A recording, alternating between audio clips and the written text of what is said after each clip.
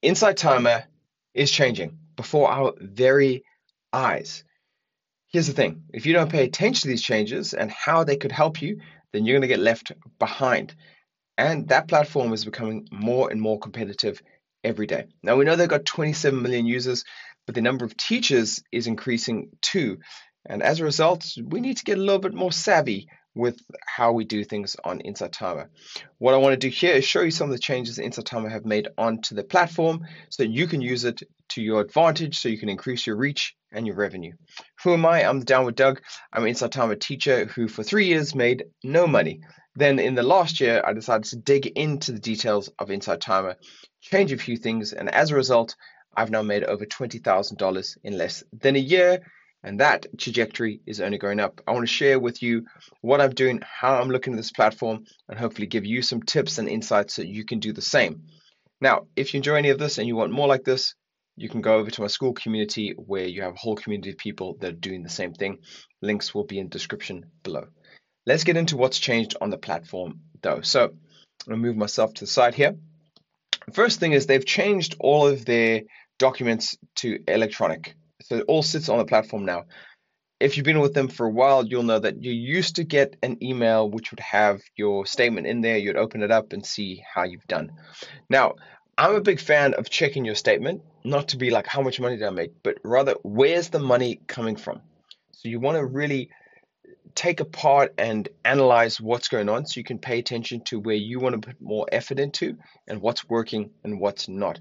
Now, personally, I don't only just check my revenue on the statement, I also have a notes folder where I look at how much I've done. So maybe I can show that to you. Apologies, I wasn't prepared for this in Timer tracker. There you go. So I know that in January I did these, what is it, one, two, three, four, five tracks and a course. Okay. I was like, I don't know if that's enough. So in February, I was like one, two, three, four, five, six, seven, eight, nine meditations, and a course. So then I'll come here and I'll look at how I earned in those two months. Okay, so January was a bumper month, so I know there's something cool about January. My course did very well. My engagement was out of control because uh, I really tapped into something that people wanted. Now, February, how did this go?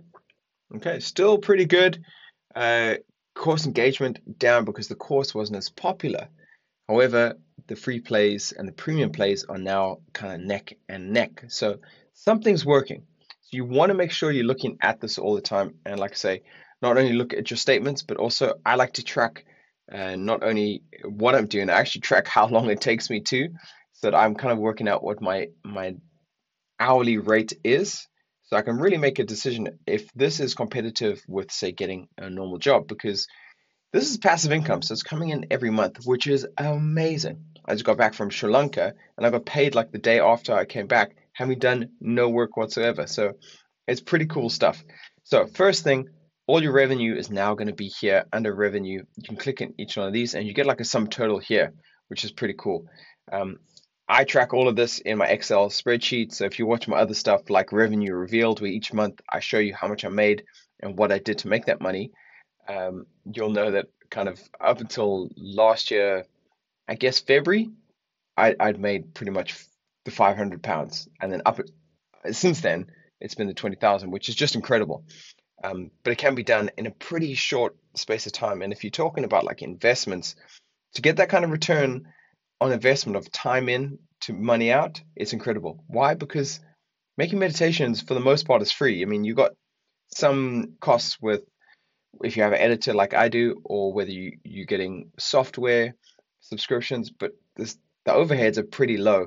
And the great thing is, each time someone listens to that same track that it cost you a fixed amount to make, you get a variable income. So you can get paid for the same meditation over and over again, which kind of leads me to my next thing. So I'm going to jump around a little bit here. The new feature they have is that you can see here, instead of daily plays, which is quite hard because sometimes you're like, well, that just shows me the last 30 days. Now you can go weekly, so you can see the general trend. Or if you want, you can go monthly, 12 months or 15 months. So big change here. So you can kind of see if your trajectory is working. Trajectory is what I meant to say. And again, if you use that with your notes folder, you can go, okay, so I know pretty much since I started paying attention to this, things have been getting better and there's been a real increase in play. So this is good. This is what we want. Now, those astute people out there will go, what the hell is going on with this blue line and this light blue line? What started happening is the back office and the Insight Timer were getting a lot of complaints that, uh, hey, loads of people have listened to something, and when I look at how many listens I've got, it doesn't add up to how much money I'm getting paid. So what they did is, come March 1st, they said, look, we're going to start to show you payable plays and non-payable plays. And the difference is if I click on one of your meditations and I listen to it, but I kind of click off because it's not for me or I've got to go, then that's not payable. It's only payable if, if you read here, 50% of its total length or at least two minutes of it are listened to. So you have to make sure that people are engaged enough to listen to the whole meditation. So there's always a slight discrepancy. Uh, and there were some problems with the start with, but it seems to have they've got pretty good now. So it just it it stops the complaints coming in of like, hey, why am I not getting paid for every single listen? I would love to see Timer put something in where you can see how much you're earning daily. I think that would be a really good motivation. And also if I could see how much each track was earning me. Now at the moment, the only way to do this really is to go onto a track. Let me get one slightly older so uh, you kind of get a better uh, let's go all the way back here. Um, surrender to sleep. Let's try that one. Okay, so monthly, last 15 months, not very good. Daily, again, that was a really bad example. Um, so, but it is good because you can see like mm, that one's not not really hitting the, hitting the spot. So if we go, maybe I need something more recent. How is this one doing? There we go. That's a much better example. So I know that sleep track is not really doing it. But this thing is kind of chugging on in the background consistently. If I go weekly, ah, okay. Doing pretty well. If I go then monthly, then we can see. All right, so that's pretty cool. This came out in January, and out of nowhere, it's now really increasing um, which is great to see. So you can kind of see which tracks are doing well. You can kind of see from the plays over here, similar thing, but it's nice to see it as a graphic too and see what's working what's not. My advice to people starting out would be try different things out and then hone down on what works. For me, I know Stoicism is something that really hit home. It's something that I like, uh, and so I make courses about it too, which has really helped out. Now, if you're not sure about what courses to make, I've got some good advice for you, which is I have a workshop on that, which is available on my Skool platform. Again, that's a community. It looks like this. Uh, and this is where lots of other teachers are hanging out, 160 of them at the moment. So come join. And in the classroom, you'll get free access to um, Insight Timer Basics. So if you want to learn how to set up a profile, upload a course, upload a track, or if you want to check out uh, kind of the mindset you have to be in to start earning over a thousand dollars a month on Timer. That'll be there, but also have this course topic workshop, which uh, you can purchase for fifteen dollars, which I think is very reasonable considering that's one comment on one of your courses. So you'll make that money back in no time. And of course, we have the Timer Pro thing. So, but I would I would focus on this for now if you're not sure about what course topic to use. Okay, so what are the other changes that have come into place? Well, recently donations has been a, a a real source of concern because Apple, of course, deemed it appropriate to take 30% of whatever you get donated to you. So that's pretty annoying. Christopher Plowman, the CEO of Insight Timer, has been fighting that. I don't know how successful he's going to be, but you know we appreciate his efforts nonetheless. To be honest, uh, it's never been a big uh, source of income you see here every now and then you get a whopper like someone is giving me $40 which is unheard of but it's cool. So it's it's always nice and uh, it's appreciated but i wouldn't focus too much on this but just know that even though it wasn't that much anyway you're getting even less now because apple are going to take 30% of that money. All right so what else do we want to look at? This is another cool thing. Followers. You have this track now where you can see how your followers are doing. Again, you get the same time codes here. I can tell you for free I've been looking at this and using this to my advantage. Before, I wasn't too sure how well lives were doing. Now I can tell you over there, here, I can't really click it. There's where I went live. That's where I went live. That's where I went live. This is where I went live. This is where I went live. This is where I went live. I'm pretty much doubling how many people follow me just by going live. And I can't recommend enough. If you want to get to know your audience, if you want to trial out certain topics before you put them out, if you want to practice delivering meditations, if you want to get more of a following and get more noticeable and get onto the home screen of Insight Timer, go live. It's free. Everyone gets stressed out about it. It's super easy. Um, as you can see here, I got a couple that are already in place. So I just I usually set up a couple a week. So I've done three recently. I could do five. It's really easy. Choose a meditation that you are comfortable doing and then get out there and just do it. Get good at your craft, right? And connect with the community. It's the first time people can actually see you in real time instead of just this uh, performative voice over a microphone. They get to actually hear who you are. And you know what? Who you are is going to differentiate you from everyone else. So everyone hides behind their yoga voice, behind their meditation voice. Be you. All right, that's your like one unique property. Be you.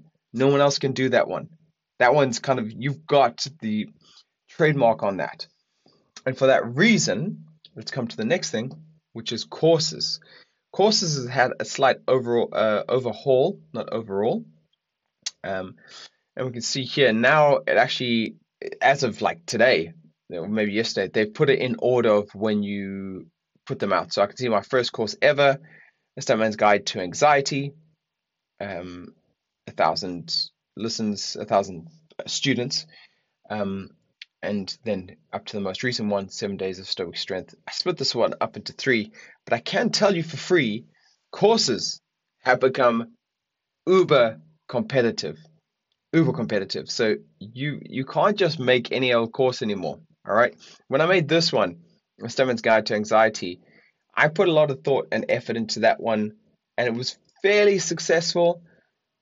But nowadays, like it used to be that if you made a course, you were going to be on the home screen for like four days because there weren't that many courses being made. Now courses are being made all the time. Again, how do you counteract that?